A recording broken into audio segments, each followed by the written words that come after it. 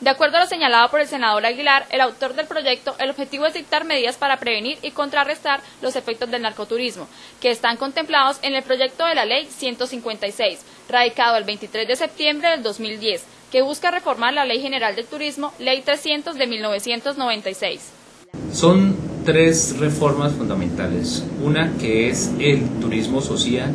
que todos los colombianos tengamos derecho a realizar esta práctica, esta actividad Segundo, que el Fondo de Promoción de Turismo tenga más recursos, como lo anunció el gobierno. Y tercero, que combatamos, prevengamos el, el expendio y consumo de drogas de los turistas extranjeros. Desafortunadamente, muchos de ellos han venido aquí al país no por el interés ni la atracción de nuestras riquezas naturales ni de nuestra biodiversidad, sino de encontrar este tipo de drogas que en varios sectores como en la costa, en el interior del país, en el eje cafetero, eh, se comercializan clandestinamente. Así como los extranjeros, los nacionales prestadores de servicios turísticos también podrán ser sancionados cuando promuevan planes relacionados con el narcotráfico.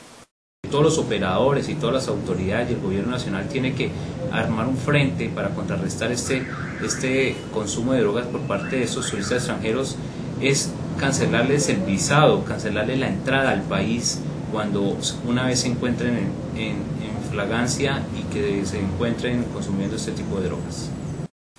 Según lo estipulado en el proyecto de la ley, las infracciones para quienes incurran en estas conductas serán multas hasta por 300 salarios mínimos legales vigentes y la cancelación del Registro Nacional de Turismo.